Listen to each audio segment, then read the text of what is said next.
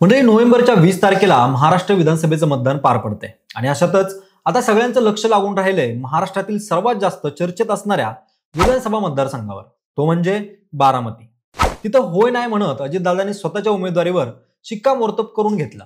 आणि दुसऱ्या बाजूला त्यांच्या विरोधात शरद पवारांनी अपेक्षेप्रमाणे अजितदादांचे पुतणे युगेंद्र पवार यांना मैदानात उतरवले. दरम्यान बारामती विधानसभा अजितदादांचा गड मानला जातो. आपली कामं बोलतात बारामतीत आपल्याला कुणी हरवून दाखवावं असा दावा मागा अजितदादांनी केला होता. पण यंदाच्या लोकसभा निवडणुकीत बारामतीमधून स्वतः दादांच्या पत्नी उभ्या असताना बारामती विधानसभेत दादांच्या उमेदवाराला लीड कमी मिळालं. आणि दादांचा बारामतीवरील होल्ड सुटलाय की काय अशा चर्चा होऊ लागल्या. पण पक्षफुटीनंतर शरद पवार यांच्याबद्दल असलेल्या सहानुभूती आणि युगेंद्र पवार यांच्या परफेक्ट मोर्चेबांधीमुळे ते शक्य झालं असं बोललं जाते दरम्यान सध्याच्या घडीला बारामतीमध्ये अजितदादांची ताकद जास्त आहे की युगेंद्र पवारांची. युगेंद्र पवार दादांना कसे जड जाऊ शकतात अजितदादांचे प्लस पॉईंट काय आहेत त्याचाच आढावा आपण या व्हिडिओच्या माध्यमातून घेणार आहोत. नमस्कार मी अक्षय आणि तुम्हाला तर माहिती आहे आपला विषयच म्हणजे यंदाच्या लोकसभा निवडणुकीत सुप्रिया सुळे यांच्या विरोधात सुनेत्रा पवार यांना उभं करून भाजपाने बारामतीमधील लढाई प्रतिष्ठेची आणि चुरशीची केली होती. पण शरद पवारांनी भाजपासह अजितदादांनाही बारामतीत जोरदार धक्का दिला. शरद पवारांच्या माइंड गेममुळे अजित पवार तिथं चारही मुंड्या चित झाले. एकूणच आता बारामती विधानसभा मतदारसंघाचा विचार करायचा झाल्यास महाराष्ट्राचे सर्वाधिक म्हणजे पाच वेळा उपमुख्यमंत्री राहिलेल्या अजित पवार यांच्यासमोर शरद पवारांनी पुन्हा एकदा घरातूनच आव्हान उभं केले अजित पवारांचे बंधू श्रीनिवास पवार यांचे चिरंजीव युगेंद्र पवार राष्ट्रवादीच्या शरद पवार गटातून निवडणुकीच्या रिंगणात उतरणार आहेत. युगेंद्र पवार हे नुकत्याच झालेल्या बारामती लोकसभा निवडणुकीत सुप्रिया सुळे यांच्या प्रचारात सर्वाधिक सक्रिय राहिले दिसले होते. तेव्हा त्यांनी थेट लोकांशी संपर्क वाढवला असल्यानं आता अजित पवारांसमोर मोठं आव्हान असणार आहे. कदाचित त्यामुळेच दादांनी याआधी आपण बारामतीमधून निवडणूक लढणार नसल्याच्या चर्चा पेरून ठेवल्या. जेणेकरून बारामतीकरांना ऐनवेळी भावनिक करता. येईल म्हणजे एकोणीशे बासष्टचा मालतीबाई शिरोळे यांचा अपवाद वगळता सलग बारा टर्म पवार घराण्याचं बारामतीवर एक हाती वर्चस्व राहिलेले. एकोणीसशे सदुसष्ट ते एकोणीसशे एक्क्याण्णव पर्यंत शरद पवारांनी बारामतीचं प्रतिनिधित्व केलेलं. आहे त्यानंतर एकोणीसशे एक्क्याण्णव ते दोन हजार एकोणीस पर्यंत अजित पवार सलग बारामतीमधून विधानसभेवर निवडून आले आता दोन हजार एकोणीसच्या निवडणुकीबद्दल बोलायचं झाल्यास अजित पवार यांच्या विरोधात भाजपाने धनगर मतांना डोळ्यासमोर ठेवत गोपीचंद पडळकर यांना संधी दिली होती. पण अजित पवारांनी एक लाख पासष्ट हजार दोनशे पंचवीस. इतक्या तगड्या मतांचं लीड घेत इथून विजय मिळवला होता. दोन हजार चौदाच्या निवडणुकीत देखील अजित पवारांनी भाजपाच्या बाळासाहेब गावडे यांचा एकोणनव्वद हजार सातशे एक्क्याण्णव मतांनी पराभव केला होता. एकूणच निवडणुकीत विरोधकांकडून पवारांना धक्का तंत्र देण्याचा अनेक वेळा प्रयत्न करण्यात आला.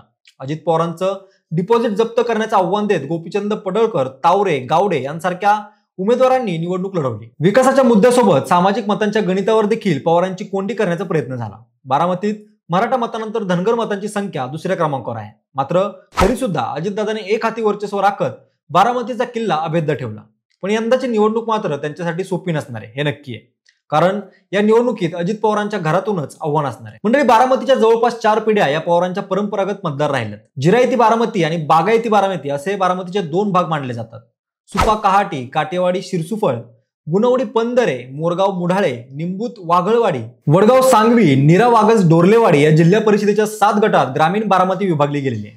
जिरायती भाग साहेबांना आणि बागायती शहरी भाग हा दादांना मानणारा असं एकंदरीत चित्र इथं पाहिलं जातं.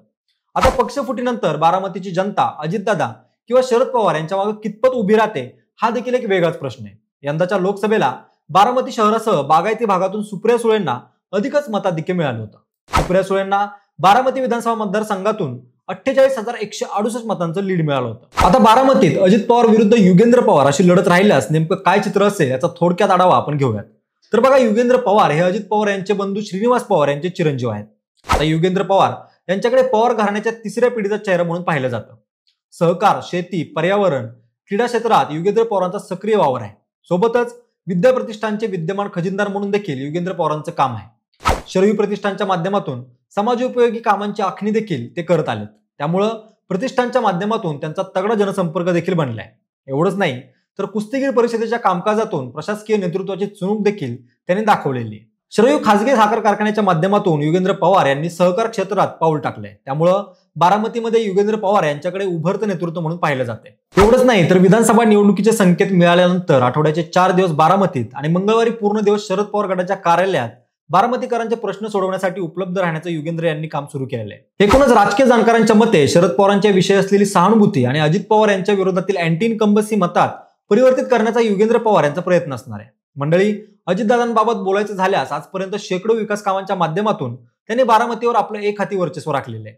प्रशासनावर असलेला दादांचा होल्ड हा मुद्दा सुद्धा इथं त्यांच्यासाठी प्लस पॉईंट आहे. तसंच महायुती सरकारमध्ये असल्यानं त्यांच्याकडे असलेलं उपमुख्यमंत्री पद किंवा अर्थमंत्री पद आणि भविष्यात काही गोष्टी त्यांच्या पथ्यावर पडल्या तर त्यांना मिळू शकणारं संभाव्य मुख्यमंत्री पद ही गोष्ट अजूनही अजितदादांचा मतदारसंघात प्रभाव राखून आहे लाडकी बहीण योजनेसह शेतकरी आणि कामगारांच्या योजनांचं मतदारसंघात केलेली जाहिरातबाजी योग्य संघटन युती धर्म म्हणून एकनाथ शिंदे आणि भाजपच्या कार्यकर्त्यांचं त्यांना मिळणारं समर्थन या गोष्टी अजितदादांसाठी गेम चेंजर ठरू शकतात असं बोललं जाते तसंच आजही बारामती जनता दादांकडे पवार साहेबांनंतर अनुभवी राजकारणी म्हणून बघते.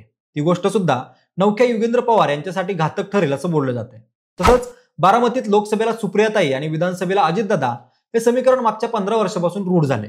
परिणामी युगेंद्र यांच्या समोर आणि पर्यायानं शरद पवारांच्या समोर या समीकरणाला ब्रेक करण्याचं खरं आव्हान असेल. पण विशेष म्हणजे अद्याप शरद पवार यांच्यावरील निष्ठेपायी पवार साहेब सांगतील त्या उमेदवाराला मत देऊ असं म्हणणारा एक वर्ग सध्या तिथे आहे. पण भावनिकतेचा विचार न करता दादांच्या विकास कामांचा मुद्दा अजित पवार गटातून पुढे गेला जाते. त्याला छेद देण्याचं शरद पवार यांच्यापुढे मोठं आव्हान असेल. तसं पाहिलं तर बारामतीमध्ये प्रमुख सार्वजनिक संस्थांवर दादांचे पदाधिकारी आहेत. पंचायत समितीपासून कृषी उत्पन्न बाजार समितीपर्यंत दादांचा होल्ड आहे. श्री छत्रपती माळेगाव सहकारी आणि सोमेश्वर या सहकारी कारखान्यावर दादांचं एक हाती वर्चस्व आहे. त्यामुळं शरद पवारांची सहानुभूती अजितदादांच्या या सहकारी आणि संघटनात्मक ताकदीचा छेद देणार का हे पाहावं लागेल. त्यामुळं आता येणाऱ्या काळात बारामतीचं राजकारण काय वळण घेत आहे आणि या नव्या काका पुतण्याच्या लढाईला लोक किती गांभीर्याने घेत आहेत ते पाहणंही महत्वाचं ठरणार आहे. पण तुम्हाला नेमकं काय वाटतं लोकसभेला काकांच्या बाजूने उभे राहणारे बारामतीकर विधानसभेला काका अजित पवार की पुतण्या युगेंद्र पवार यापैकी कुणाच्या बाजूने उभे राहणार? युगेंद्र पवार की अजित पवार? कोण होणार बारामतीचा पुढील आमदार? तुमची मतं आम्हाला कमेंटच्या माध्यमातून नक्की कळवा. जर हा व्हिडिओ आवडला असेल तर लाईक आणि शेअर करा. सोबतच आमच्या विशेष भारी या युट्यूब चॅनलला सबस्क्राईब करा. धन्यवाद.